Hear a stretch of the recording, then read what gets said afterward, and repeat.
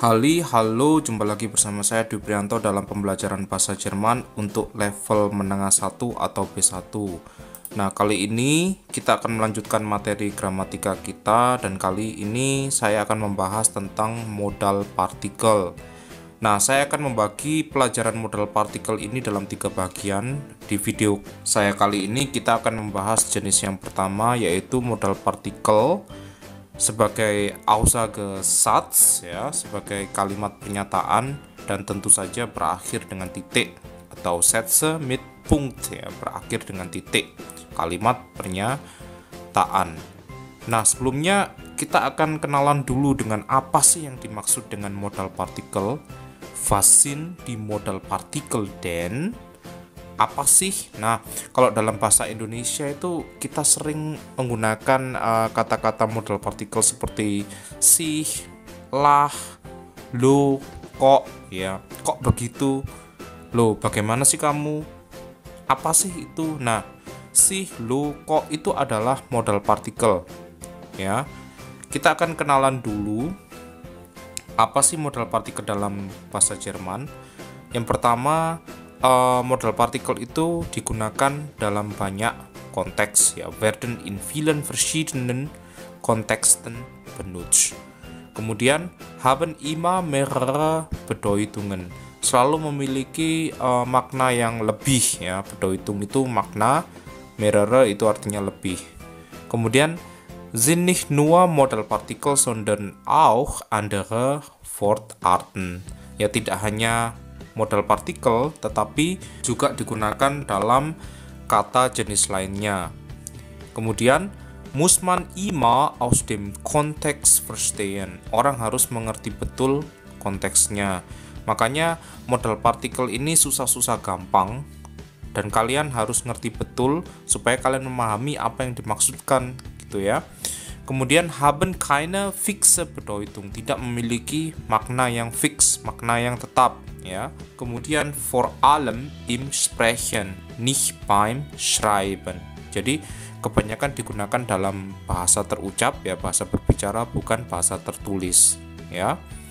Kemudian änder nichts am Inhalt des Satzes, tidak mengubah isi daripada kalimat.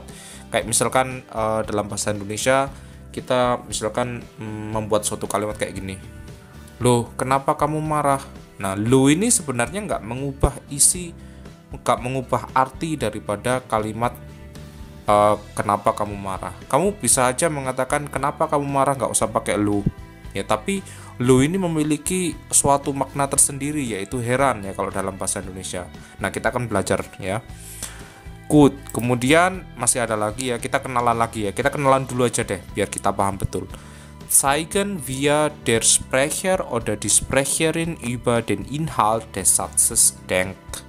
Emotion dazu. Jadi menunjukkan bagaimana uh, pembicara itu berpikir tentang isi suatu kalimat. Jadi bagaimana emosi uh, dari pembicara, ya. Kemudian können nicht auf Position einstehen. Jadi dalam bahasa Jerman, modal partikel itu tidak bisa diletakkan pada posisi satu, melainkan stehen meist auf Position 3. Uh, eh, terletak pada posisi ketiga. Kemudian werden nicht betont gesprochen, tidak diucapkan dengan penekanan, ya. Dan yang terakhir, können auch kombiniert werden. Zum Beispiel ya auch, doch immer, ya mal, und so weiter. Jadi, antar modal partikel itu bisa dikombinasikan, bisa digabungkan. Misalkan modal partikel ya digabung dengan auch, nanti ada maknanya apa. Doch dengan ima, ya dengan mal, dan lain sebagainya. Und so weiter itu artinya DLSB dan lain sebagainya. Good. Kita langsung saja ke contoh-contoh modal partikel dalam kalimat pernyataan ya. Yang pertama adalah vol. Makna emosi dari modal partikel vol itu adalah etwas vermuten oder denken, aber nicht sicher wissen. Seperti ich denke, das pung pung pung ya jadi vermuten atau denken ya, menduga-duga sesuatu atau berpikir tentang sesuatu tetapi nicht sicher wissen, tidak tahu pasti. Seperti ich denke da saya berpikir bahwa gitu ya. Nah, contohnya adalah wir werden wohl heute später anfangen müssen. Nah, wohl di sini kayaknya dalam bahasa Indonesia itu artinya kayak kayaknya gitu ya. Jadi kalau kita bilang kayaknya itu kita nggak tahu pasti. Dalam kalimat ini uh, kita akan memulai kayaknya uh, hari ini telat ya. Kalau dalam bahasa Indonesia kayaknya ditaruh di depan ya. Kayaknya kita akan memulai hari ini telat. Tapi kita nggak tahu, mungkin saja nggak telat gitu ya. Nah itu makna emosi dari model partikel vol Nah, di penggunaan lainnya, model partikel itu adalah suatu adverb ya yang berarti baik-baik saja atau nyaman ya. Kalau dalam bahasa Inggris kayak well gitu ya, baik gitu ya. Contoh auf meiner Couch fühle ich mich sehr wohl. Di sofa saya aku merasa sangat wohl, sangat nyaman, sangat enak gitu ya. Tapi itu di penggunaan lain dalam kata jenis lain untuk uh, model partikel vol ya. Kalau sebagai model partikel artinya adalah uh, suatu kemungkinan yang kita nggak tahu pasti ya. Kita masih menduga-duga. Good. Virgin Vita. Nah kita punya ruih. Nah ruih ini kalau di penggunaan di kata lain itu adalah suatu adjektif atau adverb yang berarti tenang ya seperti contoh es ist absolut ruhig, man hört nichts ya.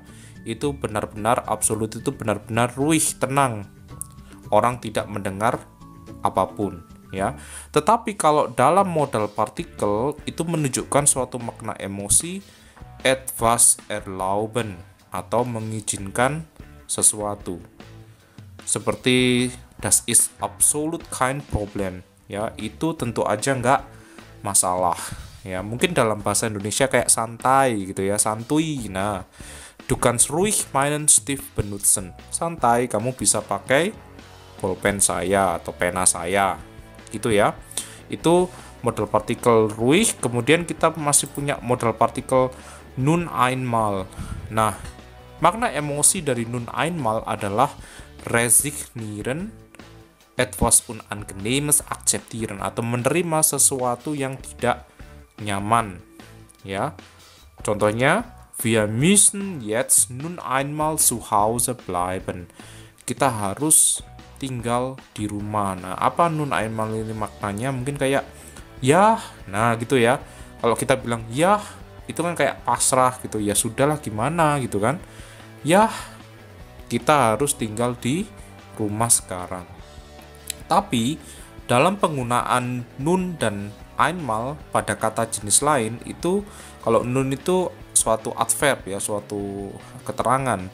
Er hat nun ein Kind. Nah, nun itu bermakna seperti jetzt. Sekarang dia memiliki uh, seorang anak sekarang. Kemudian untuk einmal juga adverb ya, ich warne dich nur einmal. Ya, einmal berarti sekali atau nicht öfter, tidak sering ya. Oke, good. Lanjut ke model partikel berikutnya kita punya mal. Makna emosi dari mal itu adalah macht etwas unverbindlich, nicht klar definiert oder fix. Ya, atau mungkin uh, terjemahannya kayak uh, sesuatu yang uh, tidak fix ya kita definisikan tidak fix tidak mesti gitu ya Contoh, wir sehen uns mal, wir sehen uns mal. Nanti ketemu lagi ya. Mungkin kayak gitu ya. Mungkin dalam bahasa Indonesia ntar ketemu lagi ya, ntar ketemu lagi mungkin kayak gitu ya. Tetapi nggak um, tahu pasti kapan ketemunya seperti itu ya. Jadi mal itu ya um, bermakna sesuatu yang nggak pasti gitu ya. Good kalau dalam adverb ya kayak tadi ya itu berarti kayak einmal tadi sekali Ivar schon einmal dort artinya sekali aku pernah di sana. Good. Mahma weiter kita punya ya. Ya.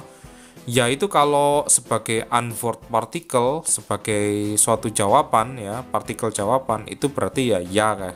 Suatu uh, mengiyakan atau jawaban positif dari suatu pernyataan ya ich komme gerne kayak gitu ya ya aku datang dengan senang hati tetapi kalau sebagai modal partikel ini menunjukkan makna emosi gemeinsam wissen unterstreichen wir beide wissen das Artinya adalah apa? Menggarisbawahi suatu pengetahuan bersama, sesuatu yang diketahui bersama. Atau kita itu loh dua-duanya tahu tentang hal itu. Ya, contoh dia kurs is ja so spannend. Artinya kursusnya itu sangat seru ya. Gitu ya. Artinya kamu dan teman kamu sama-sama ngerti kalau kursus itu sangat seru, maka kamu menggunakan modal partikel ya di sini. Oke, kita masih punya even ya. Makna emosinya adalah resignieren etwas unangenehmes akzeptieren ya seperti yang tadi yaitu menerima sesuatu yang tidak nyaman. Mungkin kayak artinya yah tadi ya. Uh, dan gehen wir eben nicht ins Theater. Ya, ya kita nggak pergi ke teater, kita nggak pergi ke nonton drama gitu ya.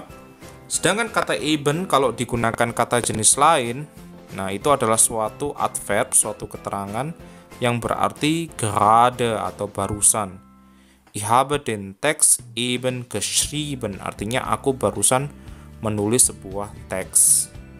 Oke, kita punya doch. Nah, doch ini memiliki makna emosi, zeigen, dass man weiß, dass die andere Person eine Sache auch weiß und die Konsequenz erkennen soll.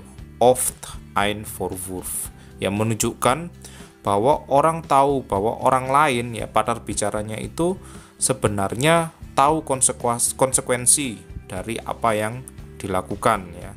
Erkennen itu mengenali konsekuensi dari apa yang dilakukan. Oke. Okay? Nah, kadang itu bisa merupakan suatu kayak celaan ya Uh, contoh, wir haben doch gestern schon Spaghetti gegessen. Wir haben doch gestern schon Spaghetti gegessen. Mungkin kayak dalam bahasa Indonesia hmm, model partikel lo kayak gitu ya. Lo, kita lo kemarin sudah makan spaghetti. Ngerti ya? Artinya gini, kalau kamu makan spaghetti lagi, apa nggak bosan atau mungkin apa kamu nggak tambah gendut? Nah, gitu ya uh, jadi uh, teman yang kita ajak bicara itu mengerti konsekuensinya ya maka kita menggunakan modal partikel doh. Sedangkan doh kalau digunakan di kata jenis lain ya itu adalah suatu unword partikel atau partikel jawaban untuk pertanyaan negatif. Kayak kommst du nicht doch ich komme di jenis lain itu ada sebagai konjungsion ya kata hubung atau konektor.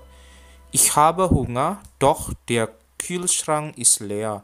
Saya lapar meskipun demikian kulkasnya kosong ya, tetapi atau meskipun demikian kulkasnya kosong. Good. Mungkin uh, untuk kali ini kita belajar sampai itu dulu. Nah, kita masih punya dua jenis modal partikel lainnya. Saya akan bahas di video-video selanjutnya. Terima kasih sudah belajar bersama dan semoga video ini bermanfaat. Saya Dwi Prianto mengucapkan tschüss und bis zum nächsten Mal.